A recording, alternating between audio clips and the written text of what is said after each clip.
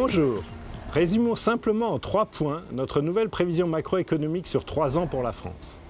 Premièrement, l'activité économique devrait connaître un fort rebond à partir de l'été, avec une croissance soutenue notamment par la consommation des ménages, dans un scénario d'amélioration de la situation sanitaire en lien avec la vaccination.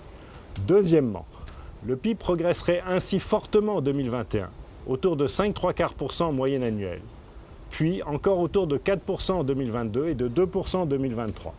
Le graphique qui apparaît à l'écran résume cela. Il faut souligner que ce scénario conduit à un niveau de PIB plus élevé à moyen terme que dans notre prévision de mars, en raison notamment de pertes de productivité associées à la crise sanitaire, désormais bien plus limitées que dans notre évaluation initiale. Troisièmement, l'inflation totale, comme le montre ce nouveau graphique, connaîtrait des mouvements infra-annuels marqués mais temporaires en 2021, évoluant en glissement annuel entre 0,8% et 2,1%.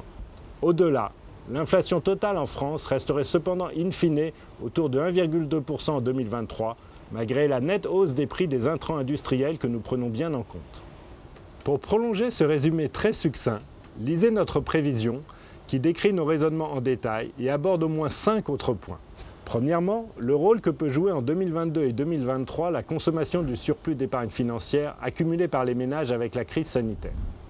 Deuxièmement, le détail des différents moteurs de la croissance, et en particulier le comportement de l'investissement, aussi bien des ménages que des entreprises. Troisièmement, les conséquences en termes de création d'emplois. Quatrièmement, une brève analyse de la trajectoire des finances publiques anticipée sur la période.